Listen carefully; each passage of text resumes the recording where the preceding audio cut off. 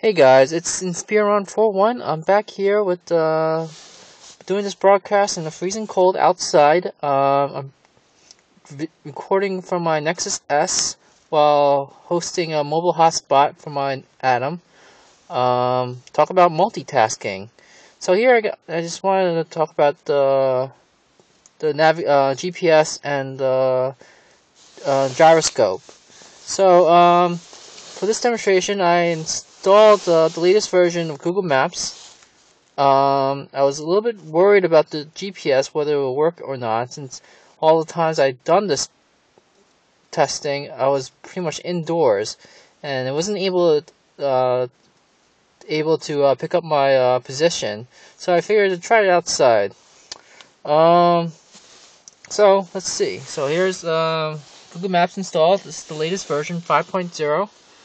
Um, and here we have it. Um, works very nicely. Um, as you can see, I already downloaded a couple of the maps to make this presentation a little bit easier. Um, and as I zoom in New York, it has a lot of tall buildings. You can see to get closer, uh, um, or not, the building starts to appear and uh, the two uh, fingers can uh, can adjust the viewing angle. The only thing you can't do is uh, rotate. It's kind of bummer, but it's okay. Uh, not a big loss. Um, but here's the worst thing. Worst thing about it.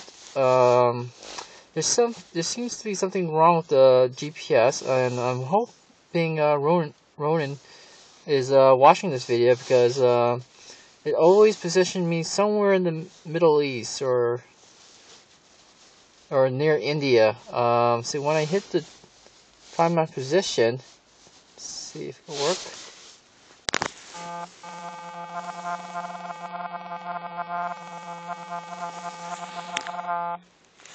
It thinks on in Kazakhstan, I believe.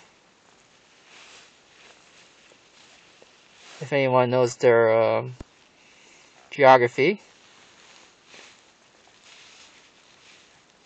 But um, as you can notice that um, let me show you. Let's see. Uh, probably not for this demonstration, but it does detect whenever uh, detect uh, uh, uh, directional changes in my position. So that's good. Uh, I'm guessing it's a little bug that needs to be uh, fixed and an update or something. Um, because it's way off, and I'm not definitely don't want to be in Kazakhstan. And just to confirm, let's uh, let's look at their uh, the pre-installed uh, navigation map, which is called OSM and it also, if you can see, thinks that I'm in Kazakhstan too. So it's not just Google Maps.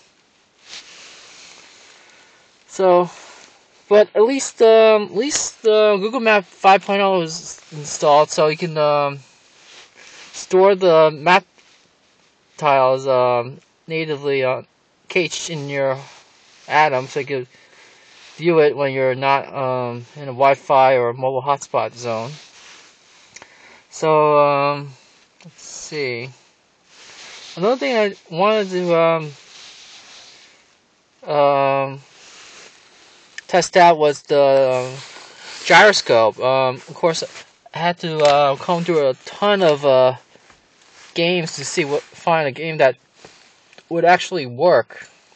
So, but it's mostly not. It's not the Notion Ink. It's more of the application not working with uh, a screen of this size. So I installed uh, uh, SpeedForge, uh, which is one of the very was which was pretty popular in, when it was launched. Um, the only problem was with this uh, application is that uh, it doesn't register the um, the button press presses on the game while I play it. So let me just show you. Graphics is not bad, I gotta say. I'll put it on easy mode for me. Three, two, one. Gyroscope response is, response is um, pretty um, fast, pretty accurate. There's nothing wrong with it. Um,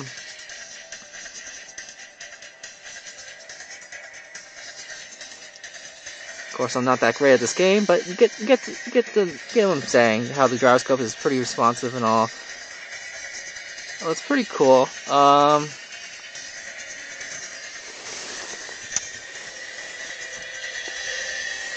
so um, let's see.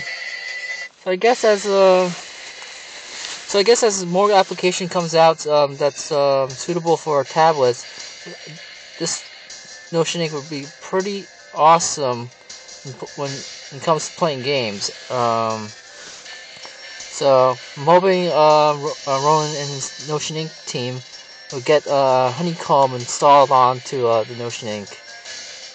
Uh, until then, I don't think we'll see the true potential of this um, tablet. Alright, take care, guys.